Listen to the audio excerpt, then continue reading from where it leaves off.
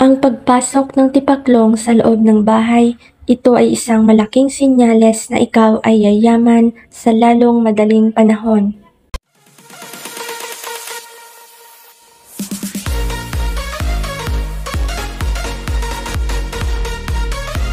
Bago ka pa lang sa aking channel, i-click mo lang ang subscribe button at i-hit ang notification bell para lagi kang ma-notify sa mga susunod kong video.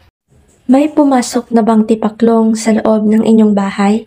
Huwag kang mag-alala dahil ito lamang ay isang sign na may darating o may paparating na malaking pera o blessing sa loob ng inyong pamilya. Ito ay isang malaking sorpresa na paparating sa inyong buhay. Huwag kang mag-alala or huwag kang matakot dahil ang tipaklong nagpapaalala lamang ito na maganda or naka-align ang inyong ginagawa sa universe. Ayon sa pag-aaral at mga eksperto, ang tipaklong ay isang sinyales ng kasaganahan. Katulad din ito ng mga paniki at mga puting paru-paro.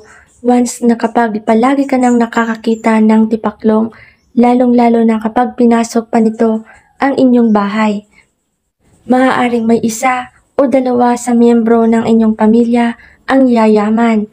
Kaya kapag nakakita ka ng tipaklong sa loob ng inyong bahay, huwag na huwag mo itong sasaktan dahil kapag sinaktan mo ito, maaaring kabaliktaran ang mangyayari. Maaaring mawawalan kayo ng pera o kaya naman bad luck ang mangyayari. Kaya huwag na huwag mo itong sasaktan. Kaya nakunan ko ang isang tipaklong na ito sa aming bahay. Kaya nagpapasalamat ako sa mga biyayang dumarating sa aming buhay. Nagpapasalamat din ako sa Panginoong Diyos sa kanyang pag-alalay sa akin. At ipinapahiwatig din ng tipaklong na ito na kailangan mong magpasalamat sa lahat ng mga blessing na natatanggap mo sa buhay. Dapat ay palagi kang grateful kahit maliit man ang natatanggap mo dahil may sorpresang malaking blessing na paparating sa buhay mo. Alam mo bang ang tipaklong, isa itong insekto na napakabait at ang kanyang kulay ay kulay green at ang iba namang kulay nito ay mga brown at itim. Subalit kapag ang kulay ng tipaklong ay kulay green na pumasok sa inyong bahay, sumisimbolo ito ng pera.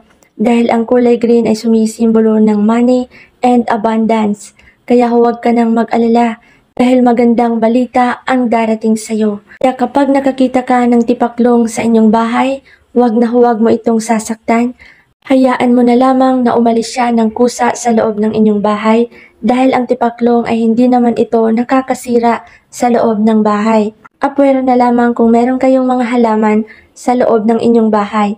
Maaari niyong ilayo ang tipaklong ng dahan-dahan o papalayo gamit ang walis tambo or walis tingting na hindi siya nasasaktan.